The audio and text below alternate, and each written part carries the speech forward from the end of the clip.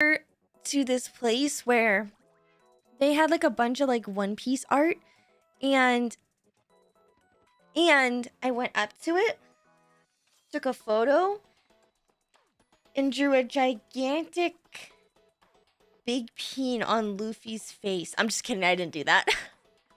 Could you imagine though? I have a question about One Piece for any One Piece fans out there. Why do they always spoil what happens?